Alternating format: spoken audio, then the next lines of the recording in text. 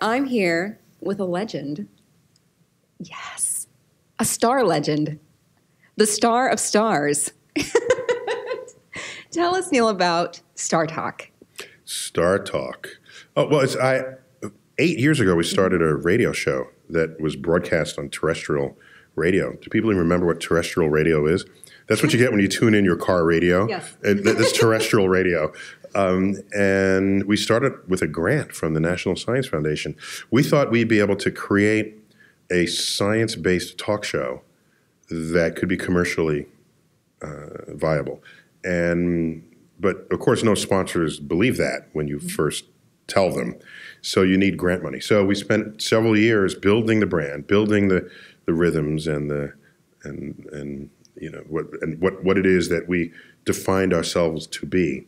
And then a few years ago, we jumped species, and so so it went from terrestrial radio to satellite radio, then to podcast, then to television, and so we became the first ever science-based talk show, nighttime, you know, like evening talk show.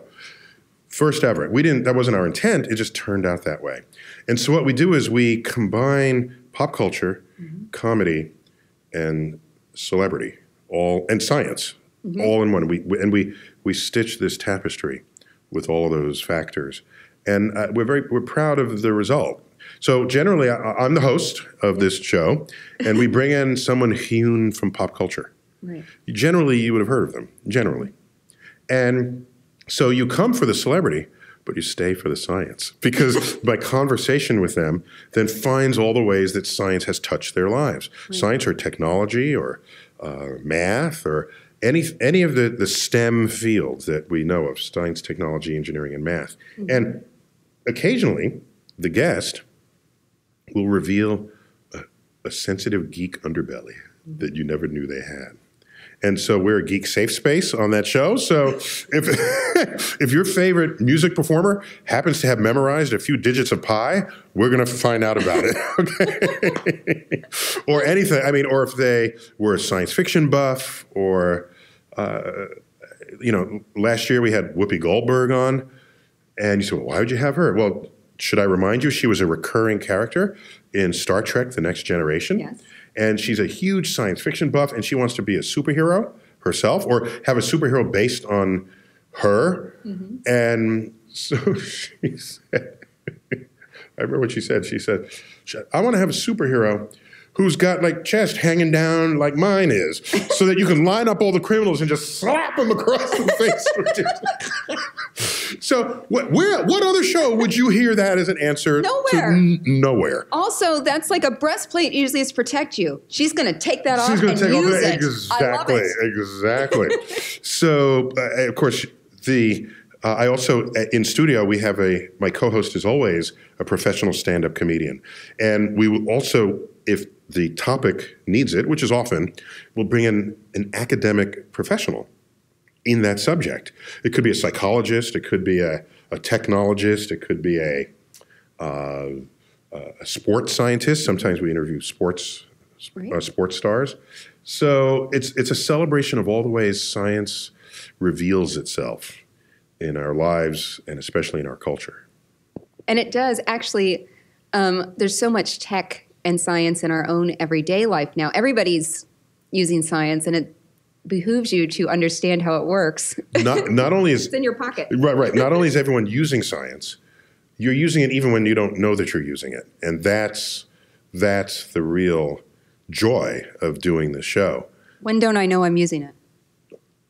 like uh, how about the fact that um, this was several decades ago we figured out how to make very powerful magnets Mm-hmm. okay when i grew up magnets were you know there was still a curiosity we had those big horseshoe magnets you could easily just pull Yeah, the yeah. thing off okay we managed to make very powerful inexpensive magnets so when you have a powerful magnet it means you can make it small and still be powerful all speakers and microphones use magnets.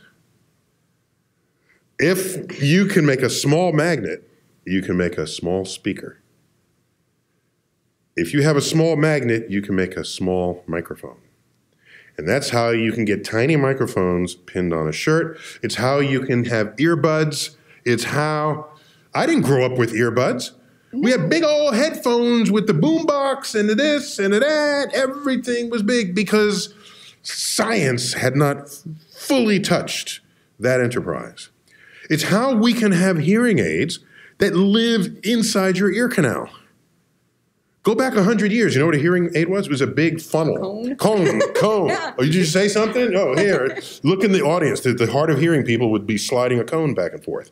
So that is one of the more subtle but interesting ways that advances in one field, magnets, manifest in technology, changing consumer electronics. I'm just saying. You asked me, I did. and I'm telling you. There it is. I love that you had an answer. I knew that you would. Okay. That's why I asked. Uh-huh. So yeah, and and of course uh, the IT revolution is Right. un, that would not exist without the discovery of quantum physics back in the 1920s. It's a weird thing. The atom, you can't even see the atom. Molecules, I know they're molecules, but why do I have to know how they behave? Because I'm a macroscopic object. I am not microscopic, so I don't even have to care. Some people cared Right. the physicists of the day. They discover an entire branch of physics called quantum mechanics, we call it. Curiosity, particles pop in and out of existence. There, there's weird stuff going on. We would ultimately learn how to exploit that weirdness for our own gain, our own, our own nefarious so what came out of this was basically the IT revolution. And by some estimates, one third of the world's GDP is traceable to the creation, storage, and retrieval of digital information. So, Insane. so there are people now born into it who are not thinking that as some kind of a discovery because it's the world that they've always known. Mm-hmm. I think of it as a discovery because I saw it come. I saw it, well, I didn't see it invented, but I know what you mean. not that old. but I, I saw it get applied to, to technology and how that technology then served civilization. So, what I hope is that the generation born into the iPhone or the smartphone in general, that they don't become complacent. Because the iPhone tells them where grandma's house is, when to make a left, and how Yes. to where, where the cupcake shop is, right? And this is like satellites and cell phone towers and microwave transmitters and very strong magnets that make a speaker and s that make a speaker this big and a microphone that Mm-hmm. Right. big. And so, so, so, I hope they don't get complacent. I want them to invent the next thing Yeah. for their next generation to then be impressed with their ingenuity. That's uh, because without it, we'll we'll just ossify. Right. In, in in we we become complacent because I'm good. I got, I got my entertainment and I got this and I got my my Snapchat and I'm good. I also wonder too, though, if some of that instant information Mm-hmm. stops people from really studying and learning things or gathering information from other people. What do you think about that? That's a great That's question. concerns me. I don't know. Yeah, so I try not to be concerned by things that are different. Right. I just observe them. Mm-hmm. Because if you go back far enough in time, this writing, this newfangled invention called writing, Yeah. that's going to be the end of memory. No. You're going to have to, you won't have to remember anything. Is that what people thought? Yes! Crazy. Well, it's crazy because you came after the fact. Right. But in the day, if you're one of these people scared of technology, you'd worry that somehow the life that you knew and valued and appreciated and and and cherished would somehow become dismantled or dismantled or compromised. So that's why I, I never judge something that's new. I just observe it. Observe it. And so so wait, wait so the question was about The the, question is about instant answers, Oh, instant right, different than really digging in and gotcha, studying gotcha. something. So, so I happen to think that uh, reflecting on information is the source. Uh, well, you start with data. Data alone, who knows what it means? You have to analyze it. You analyze data, and data then becomes information. But then you want to reflect on information further, and then information becomes ideas. And deeply thought ideas can lead to wisdom. And then you distill all of this, and then collectively, we might just call it insight into how things are and why. And I think you need, you got to occupy a little bit, you put a little bit of yourself in each one of these levels. Yep. Otherwise, you could be lost in data. You could be, or if you don't, if you don't base it on data and you have ideas, then your ideas are just floating away. They have no anchor Right. right? So I think all of us, if we had some balance of these elements, uh, I think we're in a position to move society forward rather than be consumed or lost in the maelstrom of data that's out there. Right. So maybe one day we'll just invent AI and AI will do all of our thinking.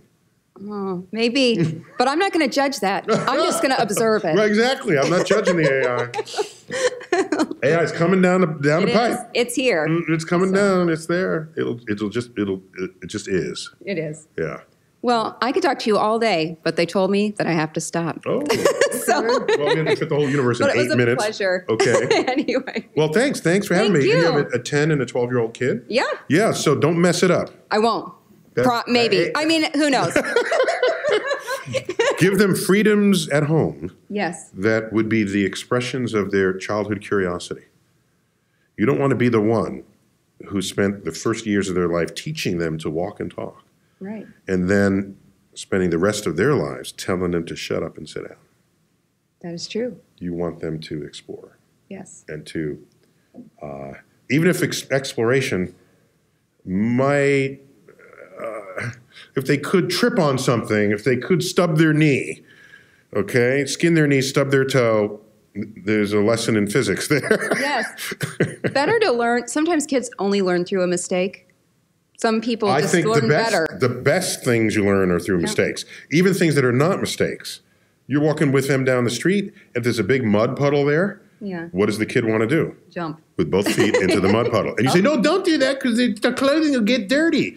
Of course, the, did you did you have kids so that you would never have a messy home? No, no. You, this is the entropy of Yep. childhood, Yep. the disorder that surrounds them, and most of what creates the disorder is some childhood bit of exploration. I would like to call it a science experiment that they're doing Yes. that you're going to thwart because it's somehow disrupting your life.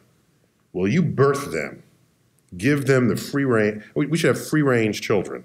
I 100% agree. If they pull the pots and pans out of the drawer, start hitting them with the wooden spoons, you're going to say, "Stop making all that record." These are experiments in acoustics that you have thwarted just because you don't want to hear the noise.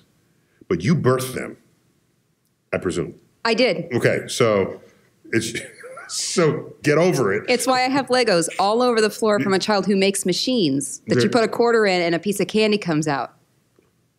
You can real. build a Lego machine that takes money. Yes, that lets candy come out of different colors. He's figured out how to do it. You can put Lego blocks together that you can put money in it. yes, and it triggers something and the candy comes out. I got Legos everywhere. No, there's an entrepreneur for you, right? You. Okay. Science. He, he likes a STEM too. Thank Well, you so okay. much. So thanks for having me. It was a pleasure. Mhm.